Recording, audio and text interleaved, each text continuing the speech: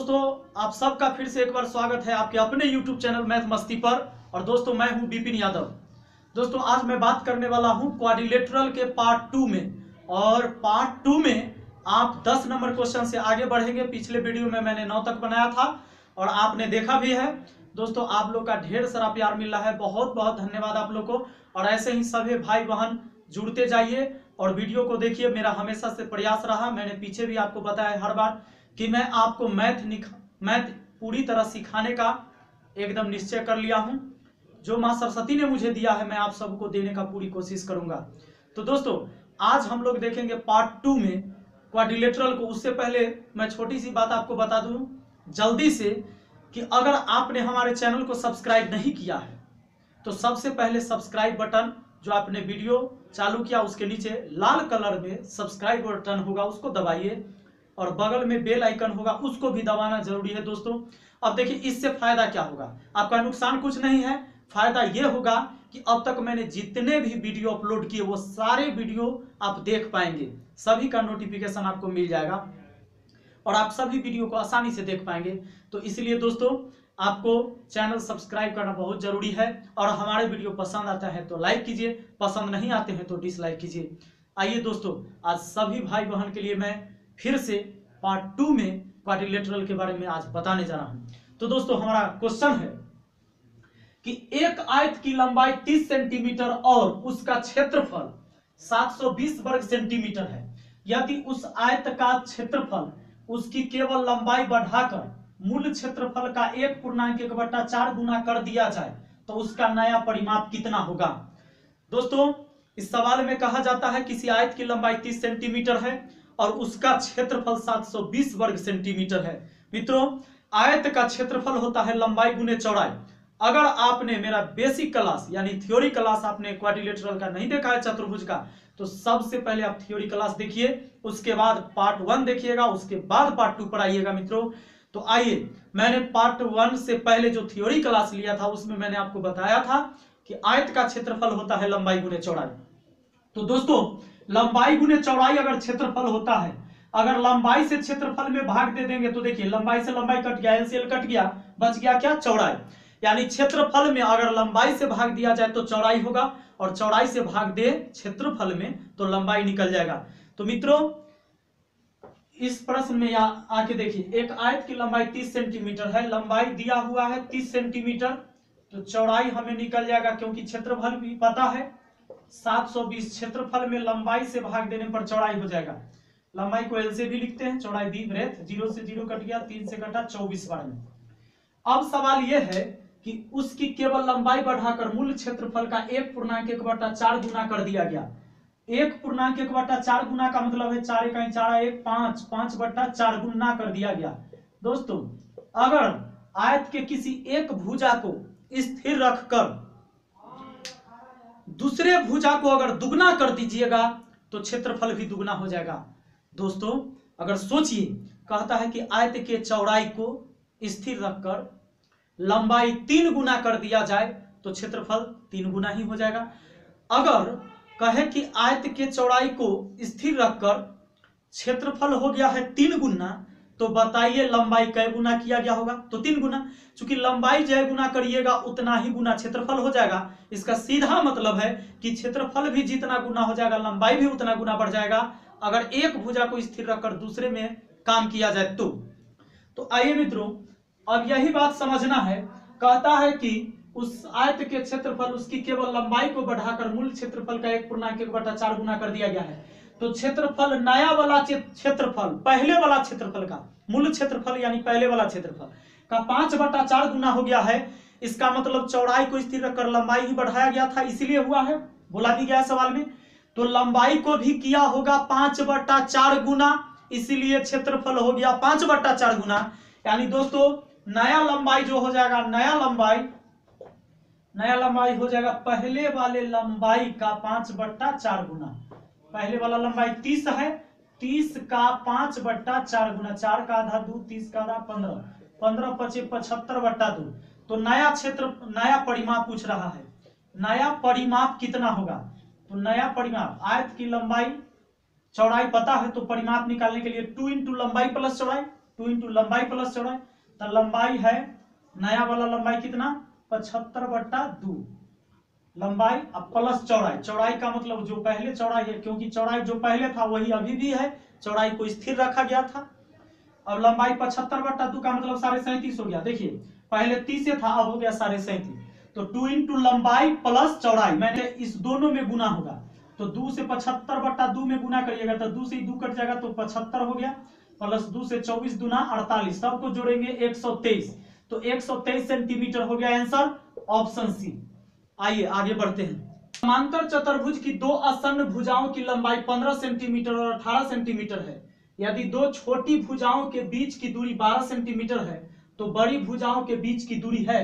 दोस्तों, मैंने बताया था थ्योरी में कि अगर कोई आयत रहता है, इस आयत को अगर पकड़ के ऐसे खींच दीजिएगा तो वो कैसा बन जाएगा? जरा देखिए। वो बन जाएगा, जैसे मान लीजिए ये लंबाई है समांतर चतुर्भुज के और ये चौड़ाई तो ये ऐसा हो जाएगा। अब ध्यान दीजिए, आमने सामने की भुजा इसमें समांतर ही होती है। मतलब ये दोनों भुजा एक दूसरे को नहीं काटेगी, कहीं। तो अब आ जाइए, इसके कहता है कि छोटी भुजा के बीच की दूरी दिया हुआ है शायद। यदि छोटी भुजा के बीच की दूरी 12 सेंटीमीटर।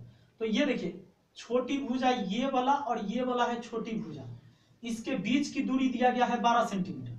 तो दोस्तों, कहने का मतलब कि अगर यहाँ से लंब डालिएगा तो लंब डालने का मतलब सीधा सीधा आना चाहिए। अगर मान लीजिए किसी त्रिभुज में आपने शीर्ष बिंदु से लंब डाला तो लंब डालने का मतलब वो नब्बे डिग्री पर यहाँ मिलेगा। या कहीं, यहीं से लंब डाला तो उधर डालिएगा तो यहाँ नब्बे डिग्री पर मिलेगा। मतलब अगर यहाँ से लंब डालते तो ऐसे आया जो नब्बे डिग्री का कोण बना दे। अब देखिए दोस्तों, आपको छोटी भुजा कितना पता है? छोटी भुजा पता है पंद्रह, और बड़ी भुजा पता है कितना? अठारह। बड़ी भुजा अठारह, छोटी भुजा पंद्रह। अगर ये पंद्रह है और इस पर ये लंब पता है, जो बोला है छोटी भुजा के बीच की दूरी बारह सेंटीमीटर। दो, छोटी भुजा के बीच की दूरी बारह सेंटीमीटर, यहाँ बारह। तो ये हुआ आधार और ये हुआ ऊंचाई। आप इसमें कह सकते हैं कि पंद्रह गुने बारह, ये आधार और ये ऊंचाई। पंद्रह गुने बारह, ये हो गया क्षेत्रफल। और क्षेत्रफल ऐसे भी बोल सकते हैं दोस्तों, ये अठारह, अगर ऐसे हाइट पता रहे, इसको एच मान लेते हैं। तो ये देखिए, ये दो बड़ी भुजा है, ये दो बड़ी भुजा के बीच की दूरी ये वाला हो गया एच तो ये भी हो जाएगा आपका कितना? अठारह गुने एच तो ध्यान दीजिएगा मतलब ये अठारह और गुने एच ये लंब हो गया इधर से। तो आधार गुने ऊंचाई क्षेत्रफल और ये आधार गुने ऊंचाई क्षेत्रफल, दोनों एक ही चतुर्भुज का क्षेत्रफल है, इसलिए आपस में बराबर। अब क्या होगा? छह दुना बारह छ से काटिए, छह दुना बारह, छतरी अठारह, तीन से काटा तीन पचे पंद्रह, पाँच दुना दस। यानी दस हो गया हाइट ये वाला। दो ऑप्शन बी तो आइए नेक्स्ट देखते हैं। तो देखिए, इस प्रश्न को एक कमरे के फर्श की लंबाई उसकी चौड़ाई से 20 मीटर अधिक है। उसके फर्श का क्षेत्रफल तब भी अपरिवर्तित रहता है जब लंबाई 10 मीटर कम कर दी जाती है और चौड़ाई 5 मीटर बढ़ा दी जाती है। तदनुसार फर्श का क्षेत्रफल कितना होगा वर्ग मीटर में? दोस्तों, इस प्रश्न में कहा जाता है कि एक कमरे की जो लंबाई है, चौड़ाई से 20 मीटर अधिक है। कमरे की लंबाई चौड़ाई से 20 मीटर अधिक है और कहता है कि इसका क्षेत्रफल तब भी अपरिवर्तित रहता है। माने क्षेत्रफल में कोई प्रभाव नहीं पड़ता है, पहले जितना था उतना अभी भी क्षेत्रफल रहता है। ऐसा तब होता है जब सवाल कहता है कि लंबाई 10 मीटर कम कर दिया जाए। मतलब पहले जो लंबाई था, उससे लंबाई अब 10 10 मीटर कम कर दिया जाएगा और चौड़ाई जो है 5 मीटर बढ़ा दिया जाता है।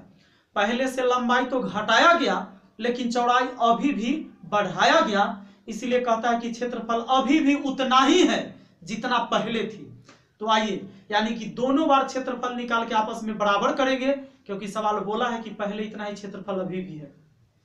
तो आइए दोस्तों, अगर पहले लंबाई रहा होगा अच्छा चौड़ा, लंबाई 20 मीटर ज़्यादा है चौड़ाई से तो चौड़ाई जितना होगा उससे 20 ज़्यादा होगा लंबाई। तो चौड़ाई अगर x मान लिया तो लंबाई हो गया x प्लस बीस। और आ जाइए, बाद में क्या बोलता है कि ये लंबाई और चौड़ाई देखिए क्या कह रहा है। सवाल कहता है कि लंबाई को पहले से, सवाल कह रहा है कि जब लंबाई 10 मीटर कम कर दी जाती है, माने लंबाई पहले x प्लस बीस था, इसमें अगर 10 घटा दीजिएगा तो x प्लस दस अभी भी बच जाएगा। तो लंबाई इतना हो जाएगा, और चौड़ाई को बोला है पाँच मीटर बढ़ा दिया जाता है तो चौड़ाई पहले एक्स था और पाँच बढ़ जाएगा तो एक्स प्लस पाँच। और कह कह दिया है कि दोनों बार क्षेत्रफल बराबर ही है, क्योंकि बोला है कि क्षेत्रफल अपरिवर्तित रहता है मतलब क्षेत्र, क्षेत्रफल पहले वाला और अभी वाला इक्वल होगा। तो आइए, पहले का क्षेत्रफल x प्लस बीस इंटू एक्स क्योंकि लंबाई गुने चौड़ाई, और अभी का क्षेत्रफल लंबाई गुने चौड़ाई ये लंबाई, ये चौड़ाई, दोनों गुना किए, इधर का क्षेत्रफल, इधर का क्षेत्रफल, और दोनों क्षेत्रफल आपस में बराबर तो दोस्तों, यहाँ कुछ सोच लीजिए वैल्यू ऐसा क्योंकि ये ऐसा इक्वल दोस्तों, ये ऐसा समीकरण हो जाएगा कि इसको थोड़ा मुश्किल हो जाएगा हल करना तो इसको क्या करना है कि पुटिंग वैल्यू गेटिंग रिज़ल्ट करना है, यानी वैल्यू कुछ ऐसा रखना है कि इक्वल हो जाए इधर से। तो अगर मान लीजिए पाँच रखते हैं तो पाँच यहाँ भी होगा, पाँच यहाँ भी होगा तो पाँच, बीस, पाँच, पच्चीस पच्चीस, एक सौ पच्चीस। इधर देखते हैं, ये तो दस हो जाएगा पाँच रखने से, और ये हो जाएगा पाँच रखने से पच्चीस, दाएँ। अलग हो गया? तो अब एक काम करते हैं, दस रख के देखिए तो अगर दस रखते हैं एक्स के जगह दस एक्स रखते हैं एक्स के जगह दस रखते हैं तो ये हो गया दस यहाँ, और गुना इधर हो गया कितना? बीस और दस, तीस। तो तीस दहाई तीन सौ, और इधर दस दस, बीस, दस, पाँच, पंद्रह।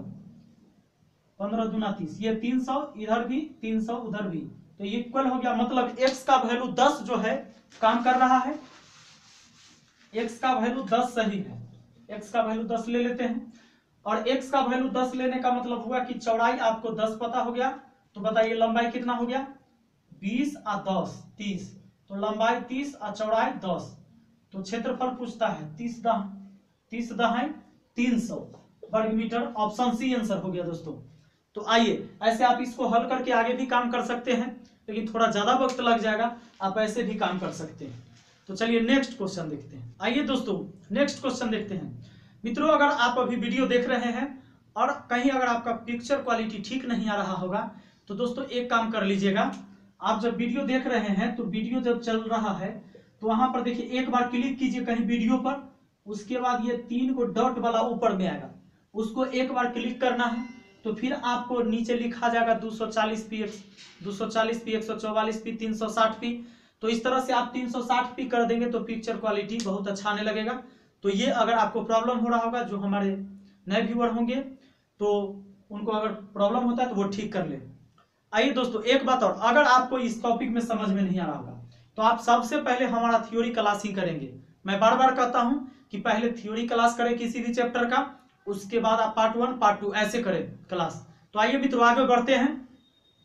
किसी वर्ग के विकर्ण पर एक संबाहु त्रिभुज बनाया गया है। वर्ग के क्षेत्रफल के साथ त्रिभुज के क्षेत्रफल का अनुपात क्या होगा?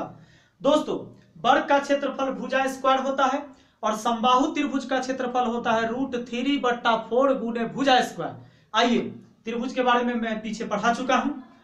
तो सवाल है, किसी वर्ग के विकर्ण पर एक संबाहु त्रिभुज बनाया गया है वर्ग के क्षेत्रफल के साथ त्रिभुज के क्षेत्रफल का अनुपात क्या होगा? किसी वर्ग के विकर्ण पर संबाहु त्रिभुज बनाने का क्या मतलब देखिए। पहले बताइए, अगर वर्ग की भुजा ए है तो वर्ग का क्षेत्रफल भुजा स्क्वायर हो गया ए स्क्वायर भुजा ए इसका विकर्ण कितना होगा? रूट टू इंटू ए और वर्ग के विकर्ण पर संबाहु त्रिभुज बनाने का मतलब यही। संबाहु त्रिभुज बनाने का यही मतलब है दोस्तों, कि जितना बड़ा विकर्ण होगा, उतना बड़ा इसकी भुजा होगी। संबाहु त्रिभुज मतलब तीनों भुजा आपस में बराबर होगी। विकर्ण इतना ही है, दो भुजा भी। तो अब संबाहु त्रिभुज का क्षेत्रफल रूट थ्री बट्टा फोर गुने भुजा स्क्वायर तो भुजा के जगह तो रूट टू इंटू ए है, इसका स्क्वायर रूट थ्री बट्टा फोर गुने भुजा स्क्वायर ये हुआ संबाहु त्रिभुज का क्षेत्रफल, जो इस वर्ग के विकर्ण पर बना है, और ये वर्ग का क्षेत्रफल। भुजा स्क्वायर आप देखिए स्क्वायर हो गया। ये रूट थ्री बट्टा फोर और ये देखिए स्क्वायर है, और रूट दो का स्क्वायर होगा तो दो ही हो जाएगा, और ए स्क्वायर ए स्क्वायर से ए स्क्वायर कटा, एक बार में, और चार इधर बट्टा में है यह अनुपात है दोस्तों तो ये बराबर की तरह काम करता है जब भिन्न के रूप में होता है बट्टा के रूप में कोई वैल्यू तो। चार आके एक में गुना हुआ चार, और उधर हो गया। अच्छा एक चीज़ और है दोस्तों, इधर। दो दूना चार कट गया, दो इधर आ गया तो दो अनुपात रूट तीन। दो अनुपात रूट तीन ऑप्शन सी आंसर होगा।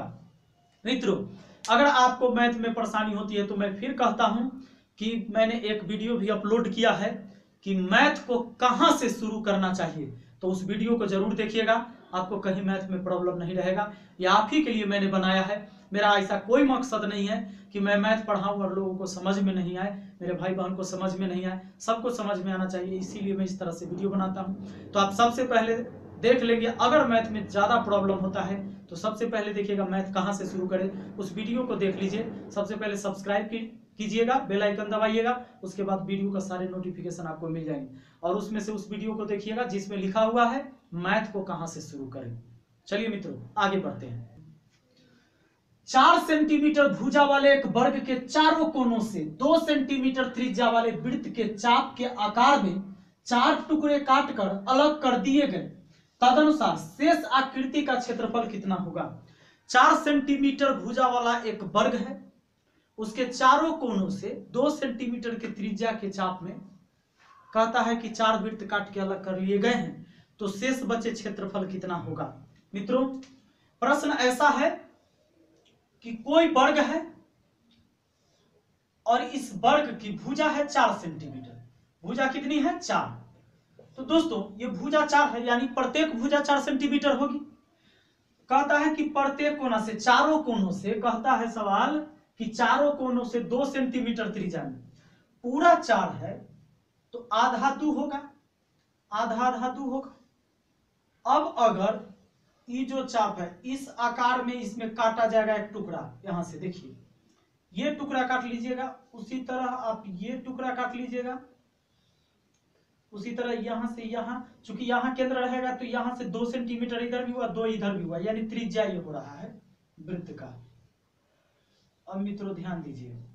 तो इस तरह से जो अब काटने के बाद जो ये शेष क्षेत्रफल बचा, इसी का एरिया आपसे पूछा रहा है, पूछा इसका एरिया ये वाला भाग। तो दोस्तों, एक काम करते हैं। इस पूरे वर्ग के क्षेत्रफल में से ये ये ये ये निकाल दे तो हमारा ये वाला बच जाएगा। और ये कैसे निकाले? तो अब जरा देखिए, सिंपल सा बात। मान लीजिए कोई वृत्त है। ये वृत्त है और एक सीधी एक रेखा ऐसे खड़ी हो केंद्र बिंदु पर एक पड़ी हो।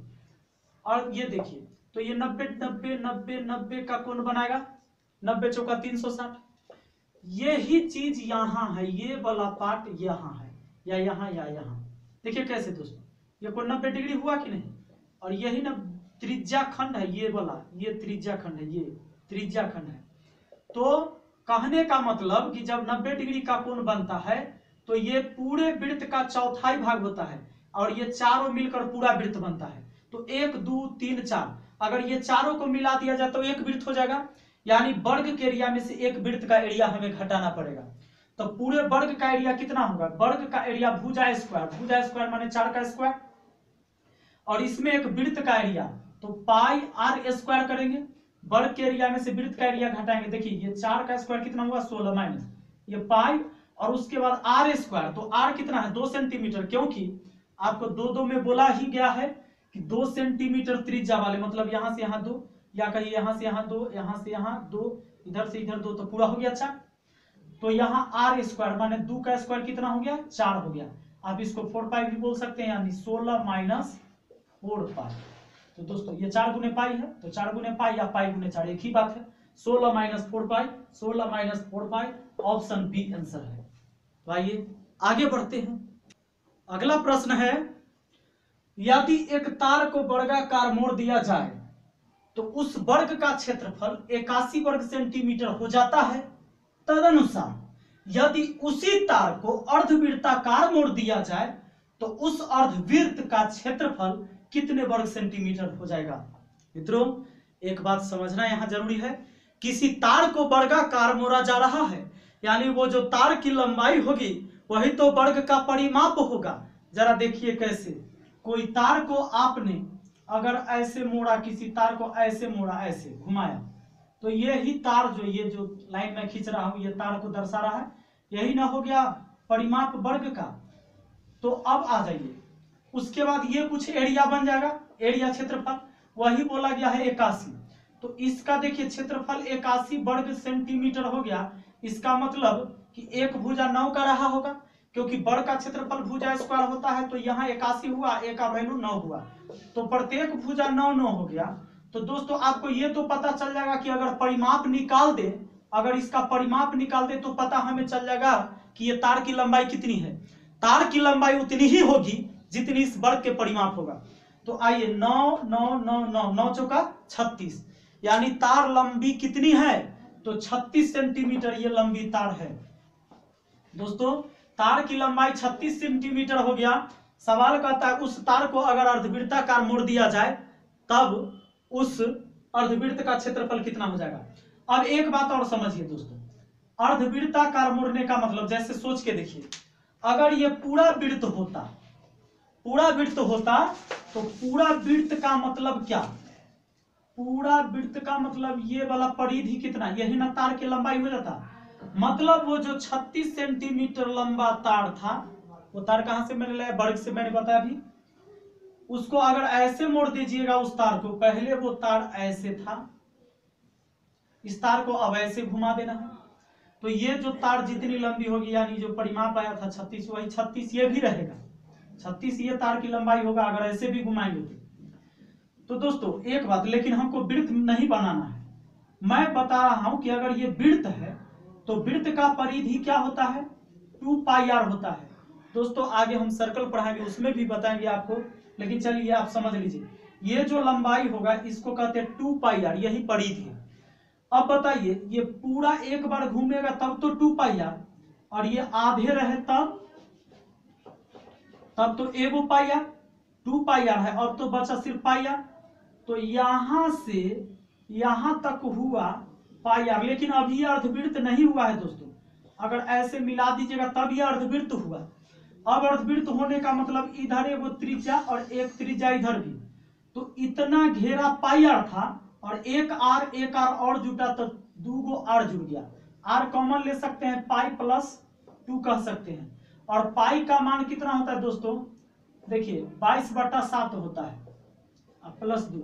ये सात दूना चौदह बाईस छत्तीस बटा सात। आर गुने छत्तीस बटा सात। अब आप डायरेक्ट याद रखिए कि अर्धवृत्त का परिधि होता है आर गुने छत्तीस बटा सात। हम ऐसे भी याद रख सकते हैं। तो मित्रों, अब इस प्रश्न पर मैं आता हूँ। और एक चीज़ आपको याद रखना है कि अर्धवृत्त अर्धवृत्त का परिधि या परिमाप जो कहिए वो होता है आर गुने छत्तीस बटा सात होता है। कहता है सवाल कि एक वर्गाकार एक तार को वर्गाकार मोड़ दिया जाए तो उस वर्ग का क्षेत्रफल एकासी हो जाता है। दोस्तों, क्षेत्रफल एकासी हुआ तो भुजा नौ होगा। तो भुजा नौ होगा तो उस तार की लंबाई कितनी होगी? तार की लंबाई कितनी होगी? उतनी ही होगी जितना वर्ग का परिमाप होगा। यानी एक भुजा नौ तो परिमाप हो गया, यानी तार की लंबाई हो गया नौ चौके कितना? छत्तीस। तो छत्तीस सेंटीमीटर हुआ तार की लंबाई। अब उसी को अर्धवृत्ताकार मोड़ दिया जाएगा। ऐसे मोड़ दिया जाएगा तो ये भी पूरा घूम के छत्तीस ही रहेगा। और ये लंबाई तो आर गुने छत्तीस बटा सात होता है। आर गुने छत्तीस बटा सात होता है। अर्धवृत्त का परिधि क्या होता है? आर गुने छत्तीस बटा सात। ये होगा यही तार की लंबाई। जिस तार की लंबाई, ये छत्तीस है। दोनों आपस में इक्वल यही परिधि बनेगा। परिधि इतना है। छत्तीस से छत्तीस कटा एक बार में आर बराबर सात। जब त्रिज्या सात पता हो गया तो आप इसका क्षेत्रफल भी निकाल सकते हैं। पूरे वृत्त के क्षेत्रफल का आधा। अर्धवृत्त का क्षेत्रफल। तो पूरे वृत्त के क्षेत्रफल का आधा। पाई पाई का मान होता है बाईस बटा सात। पाई आर स्क्वायर होता है वृत्त का क्षेत्रफल। पाई का वैल्यू रख दिया बाईस बटा सात। और आर स्क्वायर मतलब आर गुने आर, यानी सात गुने सात। सात से सात कट गया। तो बाईस सतह कितना? सात दूना चौदह। सात दूना चौदह एक पंद्रह। एक सौ चौवन। तो एक सौ चौवन हो गया ऑप्शन डी आइए मित्रों इस प्रश्न में है कि एक आयत की लंब, एक आयत की भुजा का माप लेते समय उसकी एक भुजा पाँच प्रतिशत अधिक माप ली जाती है और दूसरी दो प्रतिशत कम तो उसका क्षेत्रफल मापने में त्रुटि प्रतिशत होगा। किसी आयत के एक भुजा को पाँच प्रतिशत ज़्यादा माप लिया गया और एक भुजा को दो प्रतिशत कम माप लिया गया तो उसके क्षेत्रफल पर क्या प्रभाव पड़ा, यही पूछा जा रहा है। मित्रों, मैंने थ्योरी क्लास पढ़ाया। आप ज़रूर उसको एक बार देखिएगा, अगर आपने देखा है तो बहुत अच्छी बात है। उसमें मैंने बताया था किसी भी वस्तु पर लगातार दो बार घटना घटेगा तो ये भी फॉर्मूला लगेगा। आयत के लंबाई अगर मान लीजिए बढ़ा दिया गया, चौड़ाई घटा दिया गया, या दोनों बढ़ा दिया गया, या दोनों घटा दिया गया, दो बार घटना हुआ ना, लंबाई बढ़ा दे, चौड़ाई भी बढ़ा दे, दो घटना हुआ क्षेत्रफल पर तो ए बी फॉर्मूला और ए बी फॉर्मूला मैंने बताया था कि A plus B plus A B बटा सौ। और हाँ वृद्धि रहेगा तो प्लस कमी रहेगा तो माइनस वृद्धि तो प्लस कमी तो माइनस। मित्रों, पाँच प्रतिशत अधिक तो यहाँ पाँच प्लस में रहेगा, लेकिन आगे बोला गया दो प्रतिशत कम तो ये दो माइनस में। अब ये दोनों गुना करके यहाँ लिखा था? ये दोनों ए इंटू बी है तो पाँच माइनस दो गुना होगा तो माइनस पाँच गुने दो, बटा कितना होगा? सौ। अब देखिए दोस्तों, पाँच में से दो गया, पाँच में से दो गया तो तीन माइनस। ये पाँच गुना दस दस बटा है, ये सौ। ये ज़ीरो से ज़ीरो, तीन माइनस ज़ीरो दशमलव एक कहिए, चूँकि आप ज़ीरो हटाइएगा तो एक अंक बाद दशमलव। तो दो दशमलव नौ हो जाएगा ऑप्शन सी दोस्तों, दो दशमलव नौ प्लस में आया मतलब क्षेत्रफल, दो दशमलव नौ प्रतिशत बढ़ा। आइए मित्रों, अगर ये माइनस में आता तो कहते घटा। दोस्तों मैथ उम्मीद करता हूँ कि आपको समझ में आ रहा होगा। और देखिए, अगर आप सोचते हैं कि हमको मैथ नहीं आता है, या मुश्किल होता है, दोस्तों, ये सही बात है। कठिनाई शुरू में सबको होता है, लेकिन कोशिश करने से ऐसा कोई भी समस्या नहीं है जिसका समाधान नहीं हुआ है। और एक बार आप नहीं सीखे, दूसरी बार प्रयास किए, फिर नहीं सीख पाए, फिर तीसरी बार आपने प्रयास किया। प्रयास अभी तक आप कर रहे हैं, इसलिए आप हमारी वीडियो को देख रहे हैं। इसलिए कहा भी गया है, हर हार में तेरी हार नहीं, क्योंकि तू मानव है, अवतार नहीं। तो दोस्तों, हम मानव हैं, अवतार नहीं है, हम कोशिश कर करके सीखेंगे। और ऐसे हारने वाले नहीं हैं। इंसान तब तक नहीं हारता है जब तक कि उसके अंदर उम्मीद बाकी रहता है, उम्मीद ज़िंदा रहता है। इसलिए अगले वीडियो को ज़रूर देखिएगा पार्ट थ्री ज़रूर देखिएगा। आगे मैं इस पर काम करने जा रहा हूँ, इस पार्ट को यहीं तक। तो दोस्तों बहुत बहुत धन्यवाद, अपना आपने समय दिया और हमारी वीडियो को देखा। पसंद आया तो लाइक ज़रूर कीजिएगा। Thank you